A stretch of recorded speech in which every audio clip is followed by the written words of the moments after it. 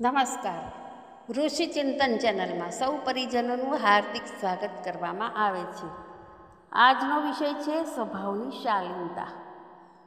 યુગ પ્રવર્તકો વિચાર ક્રાંતિના સૂત્રધારોના સ્વભાવ એટલા શિષ્ટ, મૃદુલ અને શાલીનતા સંપન્ન હોવા જોઈએ કે જેની સાથે વાત કરવી પડે તે મળીને પુલકિત થઈ જાય.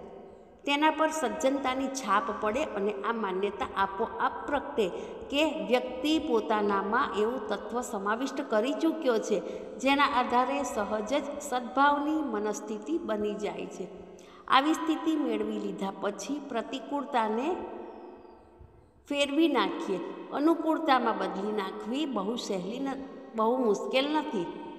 સંકટ ત્યારે જ ઊભું થાય છે જ્યારે બંને પક્ષ અહંકાર અને અભિમાનમાં હોય છે.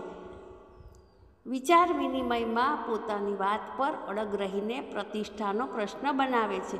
આવી સ્થિતિ ગમે ત્યારે, ગમે ત્યાં ઊભી ન થવી જોઈએ.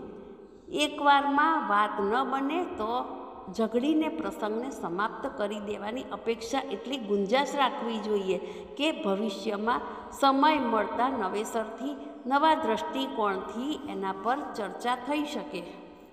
આંતરરાષ્ટ્રીય રાજનીતિમાં મતભેદોને અમુક હદ સુધી દૂર કરવામાં આવા જ વિચાર વિનિમય કામ આપે છે.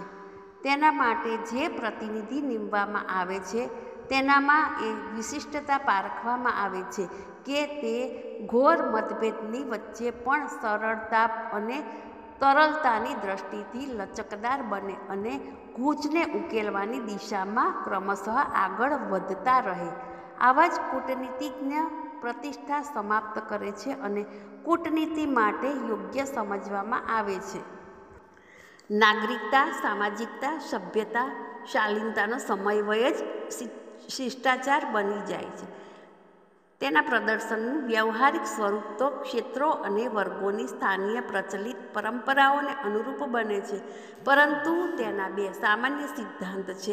એક પોતાની નમ્રતા અને બીજાઓને પ્રતિષ્ઠાને સમુચિત રૂપથી જાળવી રાખવી.